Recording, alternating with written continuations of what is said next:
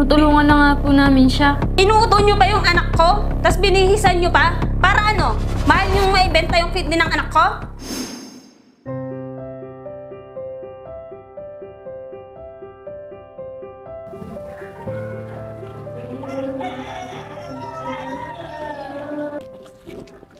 Mama, gutom na po ako. Ano ba yan, Natalie? Nagugulo yung damit ko. Nakikita mo ba ang paalis ako?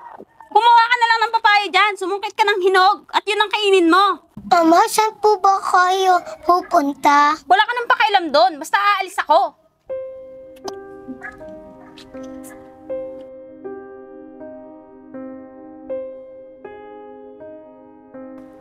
Ay, Natalie, nandito ka na naman. Pasok ka muna. Natalie, iniwan ka na naman ba ng nanay mo? Opo.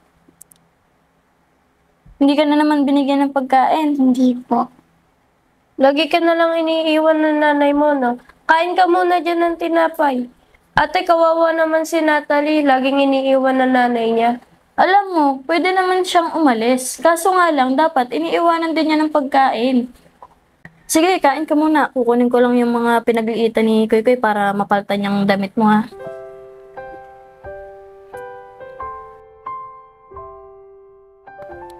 Yan, ang ganda-ganda mo naman pala pag naaayusan. Sinasabi ko na nga ba eh, nandito ka na naman, Natalie. Kayong dalawang magkapatid, siguro miyembro kayo ng sindikato, no? Wala naman po kaming ginagawang masama eh. Tinutulungan na nga po namin siya. Inuuto nyo pa yung anak ko, tapos binihisan nyo pa? Para ano? Mahal nyo maibenta yung kidney ng anak ko? Kayo nga po, ang ganda-ganda po ng damit nyo, pero sarili niyong anak, hindi niyo man lang maayusan. Sumasagot ka pa talaga sa matanda, ha? Hindi ka marunong rumespeto?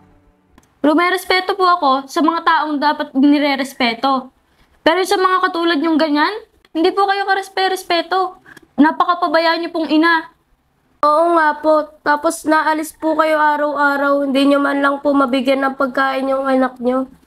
Wala kayong pakialam kung paano ako magpalakas sa anak ko. Halika na nga, Natalie. Simula nitong araw na to, wag nyo nang tutulungan yung anak ko ha. Wag na wag nyo nang tutulungan ng anak ko dahil hindi namin kailangan ng tulong nyo.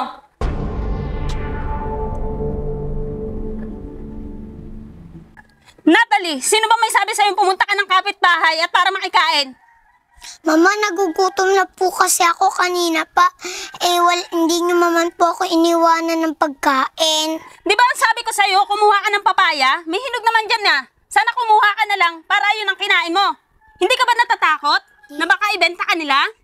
Mama, hindi po sila ganyan. Mabait sila. At binibigyan po ila ako ng pagkain kung wala po kayo. Mama, mas mabuti na po sila kaysa sa iyo. Lagi niyo naman po ako iniiwan. Nako anak, sorry ha. Kung ganun na pala ang nararamdaman mo ha. Hayaan mo anak, babawi ako sa'yo.